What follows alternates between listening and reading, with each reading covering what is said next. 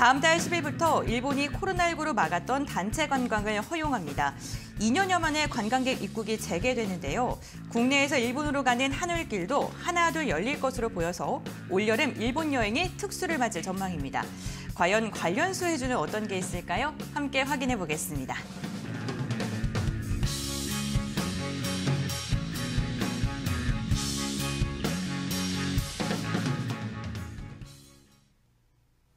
네, 현재 일본이 하루 입국자 만 명에 한해서 비즈니스나 유학생 비자가 좀 가능한 상황인데 관광객 입국은 사실 막아둔 상황입니다. 그런데 일본이 지난주 이야기를 했죠.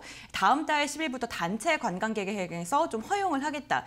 이로 인해 국내에도 좀 뜨거웠었는데 뭐 주식뿐만 아니라요. 제 네. 주변에도 아 이제 일본 놀러 가야겠다. 여름휴가 일본으로 네. 가야겠다. 네. 이런 얘기 참 많이 나오더라고요. 네, 그렇죠. 뭐 일본 많이들 다녀, 다니셨기 때문에 네. 아마 더 아마 그런 생각들이 좀 많으시지 않을까라는 생각이 들고 있고요.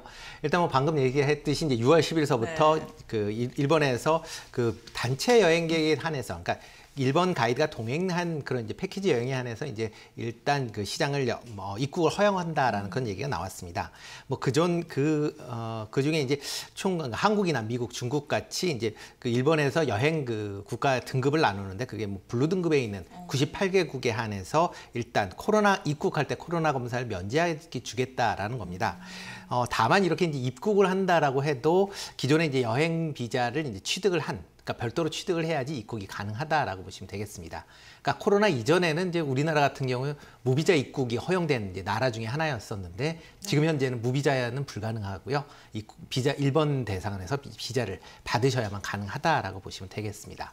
네, 그렇군요. 음. 그 무비자 입국이 네. 허용되지 않았음에도 불구하고 예약 건수가 지금 기하급수적으로 늘어났다라는 소식이 네, 들려오고 그렇죠. 있거든요. 상황이 좀 어떤가요? 네, 뭐 일본 여행 패키지가 많이 들었습니다. 네. 특히 이제 지난주에 이제 그 그러니까 보통 이제 옛날에 많이 했었거든요. 보통 저희 나라가 이제 18 2017년도 2018년도 같은 경우는 700만 명이 넘는 음. 그런 이제 관광객이 일본을 방문할 만큼 네. 국내 여행객 중에서 이제 일본 방문객이 방문이 제일 많았었다라고 그쵸. 보시면 될 것 같고요. 그 이후에 이제 화이트 리스트, 일본의 이제 화이트 리스트죠. 그 문제 때문에 19년서부터 좀 줄기 시작을 했고, 그 다음에 이제 코로나 때문에 뭐 아예 그 거의 방문객이 없었다라고 보시면 되는데요. 네. 뭐 지난주, 그러니까 일단 지난주에 이제 일본에서 이제 오픈, 그러니까 단체 여행객을 받겠다라고 그런 얘기를 하면서 어 일단 각 그 여행사에서 어, 일본 그 여행 패키지 수요가 갑자기 늘었습니다. 그래서 평균적으로 보면 한 140% 정도 늘었다라고 얘기를 하고 있는데요. 뭐 인터파크 같은 경우 일본 패키지 판매량이 전주 대비 140%가 늘어났고요. 그다음에 노랑풍선 같은 경우는 5월 달에 일본 패키지가 4월 달에 비해서 7배가 늘어났습니다. 그만큼 일본 관련된 수요가 뭐 폭증을 하고 있다라고 보시면 될 것 같고요. 이와 더불어서 지금 5월 어, 25일 날 참 좋은 여행사에서 이제 오사카 고베 2박 3일 패키지를 뭐 출시를 했는데 출시 두시간 만에 1365개가 이제 전부 매진이 됐다라고 얘기가 나오고 있습니다. 그만큼 일본의 관광 일본 관련된 관광 수요가 상당히 크다라고 보시면 될 것 같고요.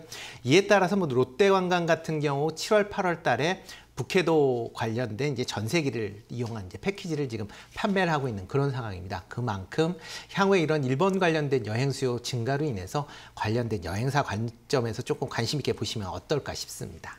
네, 그렇군요. 또 그리고 여행주에 대해 좀 긍정적인 이야기 중에 하나가 엔화가 또 약세를 지속적으로 네. 가져가고 있어요. 사실 어, 관광객들 입장에서는 어, 그 나라의 돈이 저렴해야지 네, 많이 그렇죠. 소비를 하게 네. 되잖아요. 네, 그리고 많이 찾아가게 되고 이런 것도 좀 긍정적인 영향을 미칠까요? 네, 당연히 긍정적이지 않을까 싶습니다. 네. 특히 이제 7월, 8월 달에 또 이제 휴가 시즌에 이제 맞물려서 그렇죠. 이렇게 엔화가 계속 약세를 보이고 있는 상황이기 때문에 뭐 과거 저도 이제 일본을 갔다 왔 오긴 했지만 그때마다 환율이 좀 많이 움직였는데 음. 보통 1,300원, 1,400원일 때도 갔다 왔거든요.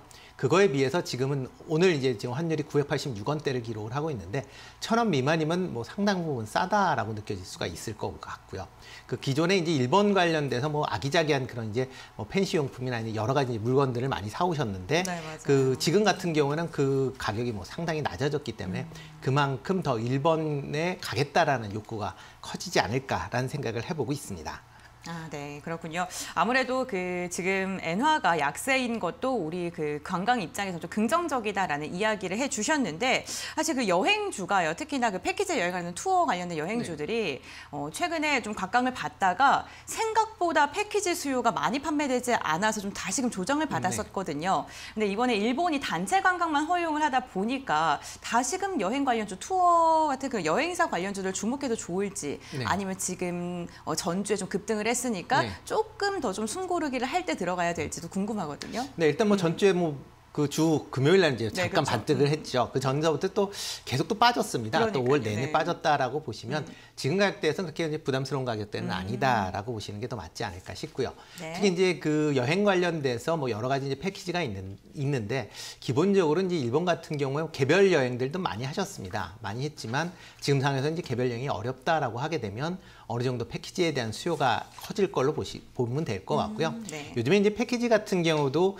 뭐 스케줄을 잠깐 보시 면 하루 정도는 자유여행이 있습니다. 그러니까 해당 지역에서 자유롭게 이제 다니실 수 있는 그런 부분이 있기 때문에 그런 걸 감안한다라고 하면 패키지에 대한 수요도 아마 다시 좀 증가하지 않을까라는 좀 생각을 해보고 있고요. 네. 그렇기 때문에 여행주 관, 뭐 일단 지금 관심 있게 보시면 좋을 것 같고요. 그리고 지금 아직까지 이제 개별 여행이 좀 제한적이긴 하지만 만약 개별 여행까지 열린다라고 하게 되면 이제 LCC 관련된 항공회사들도 조금 관심 있게 보시면 어떨까라는 생각을 해봅니다.